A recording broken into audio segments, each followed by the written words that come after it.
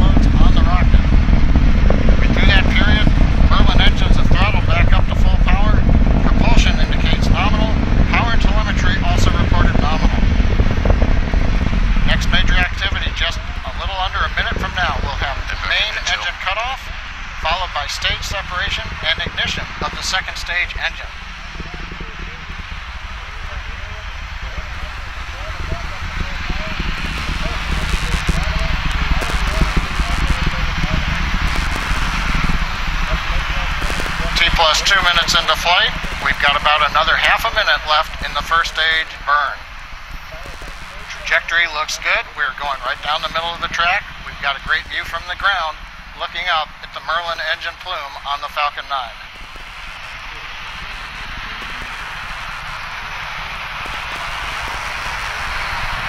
Main engine cutoff of the nine Merlin engines in about 10 seconds.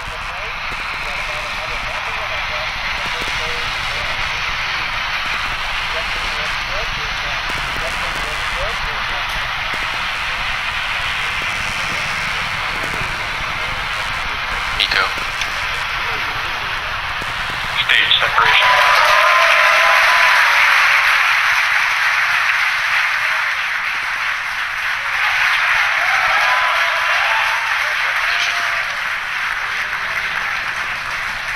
Coming up on three minutes into flight, you hear the applause here from SpaceX headquarters in Hawthorne, California. We've had a good first stage shutdown, a stage separation, and a good ignition of the upper stage engine. Right after ignition, you may have seen a couple of pieces of metal coming off the nozzle. That's normal. Those are stiffeners that go around the bottom of the nozzle for use in transporting on the ground.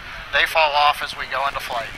Next event coming up in about 10 seconds, we're going to wait and watch for fairing separation.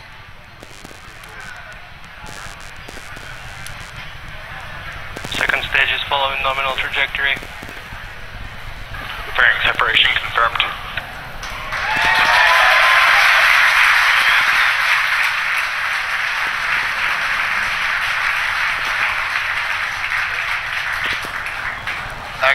Applause. You saw a good payload fairing separation.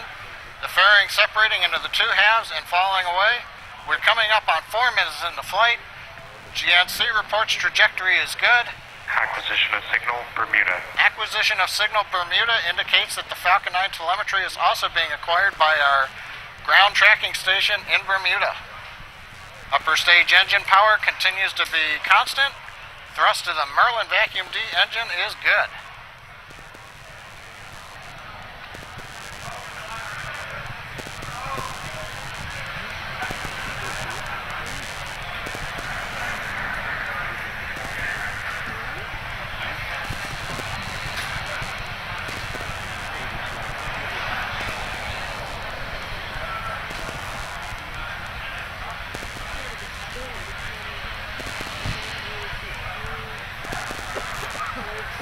Up on T plus five minutes into flight. looking at the trajectory map, Falcon 9 continues to go right along the planned path, heading east from Cape Canaveral into the first of two orbits planned for this evening. Now, currently, we're planning to burn that upper stage engine for just about another three and a half minutes.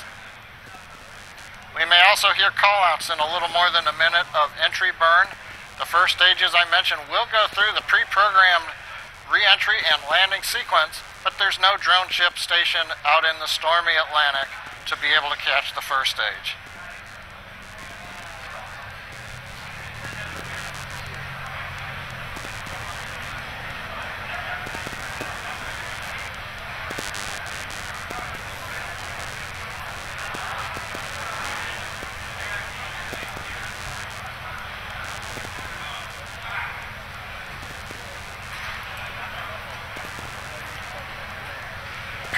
Six minutes into flight, we've got another just over two and a half minutes to go on the second stage engine. Very quiet on the net. Falcon 9 second stage with the Hispasat satellite attached, performing nominally as we head downrange from Cape Canaveral. Currently, second stage uh, will be accelerating up to about 4 Gs. As a reminder, the Hispasat 30W6 satellite as Elon has tweeted out, is massing over six metric tons. That's over 6,000 kilograms, and that is the largest geostationary satellite we've ever flown. Given the size, as you Stage one, entry burn start. you heard entry burn start in the background here. As I mentioned, going through the pre-programmed sequence.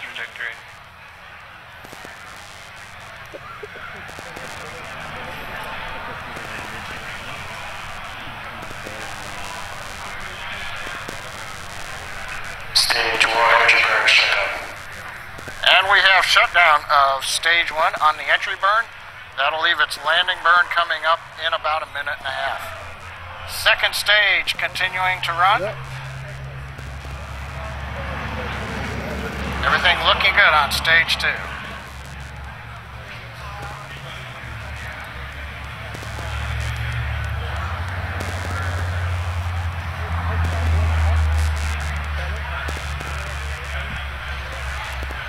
Seven and a half minutes into flight.